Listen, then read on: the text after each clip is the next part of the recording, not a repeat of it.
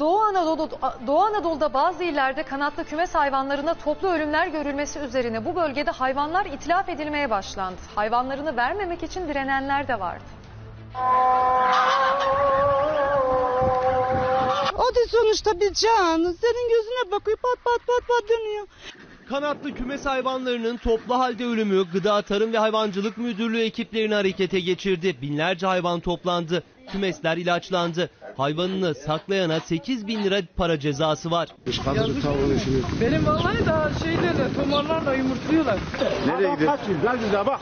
Yok gazeteci. Hadi, hadi. Tamam. Hadi. Yasak. Hadi. Yapmayın bir daha. Hadi, hadi lan. Hadi müdahale. Kars ve Ardahan'da kümes hayvanlarının toplu ölümleri nedeniyle alarm verildi ve şüpheli görülen işletmelerde kaz, tavuk, hindi, ördekler itlaf edilmeye başlandı. Ama bazı köylüleri ikna etmek kolay olmadı. TC kimlik numaranızı sayarak aldığımız kanatlı adeti kadar para yatıyor.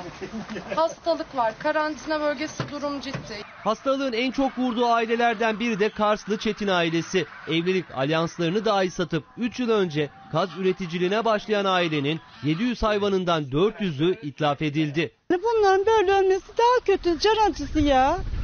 O da sonuçta bir can. Senin gözüne bakıyor pat pat pat pat dönüyor. Elimle kendim ağzına su içiriyorum. İlaçlar içiriyorum ama hiç fayda etmiyor. Ardahanlılarsa hastalığın dışarıdan getirilen hayvanlardan kaynaklandığını iddia etti. Dışarıdan alınan hayvanların neredeyse tamamen telef olduğunu ve yerli hayvanlara da bulaştırdıklarını öne sürdüler. Burada mesela kas tavuk satılıyor. Hasta geliyor. Bunları sattırıyor. Burada bizim kas tavukları da toplamaya başlıyor. Yani Nereye gidiyor? Kaç yüz, kaç yüz ha bak. İlk tarımdan yetkili yok. Adam aldı arabasını kaçır. Dışarıdan gelen hayvanda hastalık var. Bak adam kaç. Ya yakalan onu. Yakalan getirin onu. Nereye gidiyor? Bölgedeki çalışmaları görüntüleyen habercilere ise besiciler ve ekipler zorluk çıkardı. Yasak. Hadi. Yapmayın bir daha. Hadi, hadi lan. Hadi müdahale etmeyin. Hocam işletme sahibi olarak buradan çıkarın.